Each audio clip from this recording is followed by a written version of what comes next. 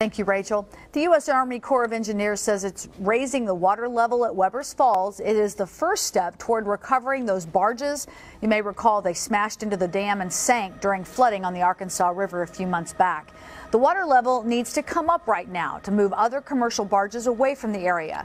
Once that's done, the Corps plans to lower the water level so crews can recover the barges. The owner of the barges is footing the bill for the salvage operations. The Corps is not sure how long that recovery process will take. I remember just how impressive that scene was when it happened. Right? And here at uh, 737, all the best and hopefully everyone's safe as that recovery continues. 84 days ago. 84. Has it been that long? I'm telling you, it just My goodness. Uh, time is flying, isn't it?